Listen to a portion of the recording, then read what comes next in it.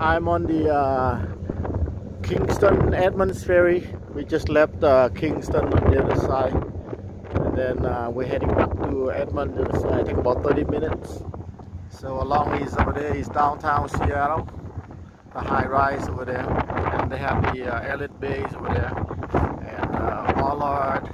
And they have Shoreline. They have Richmond Beach. Richmond Beach and then uh, Edmonds right here. And then they have uh, Lynnwood right here and then uh, Everett over there. So, and all along they have uh, they have uh, ferries. So this is on the one of here on a Spokane. The ferry name Spokane. We got all the barge.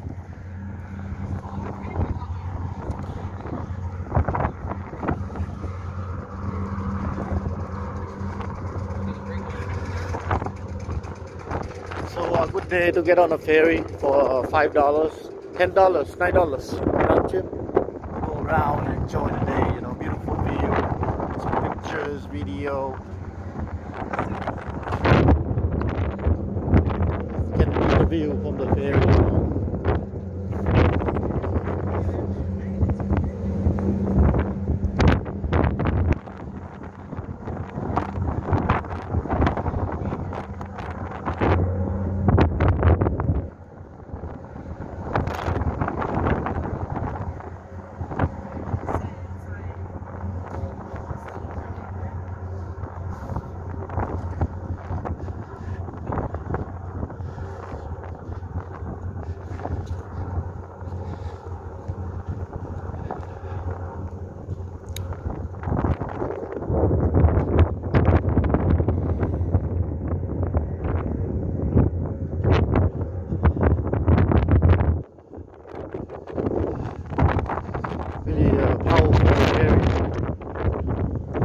Minutes go across